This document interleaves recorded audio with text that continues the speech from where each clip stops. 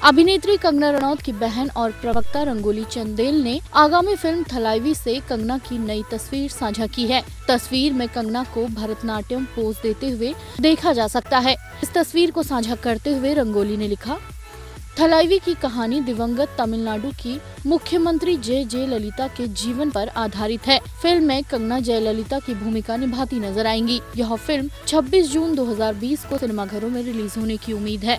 INS report.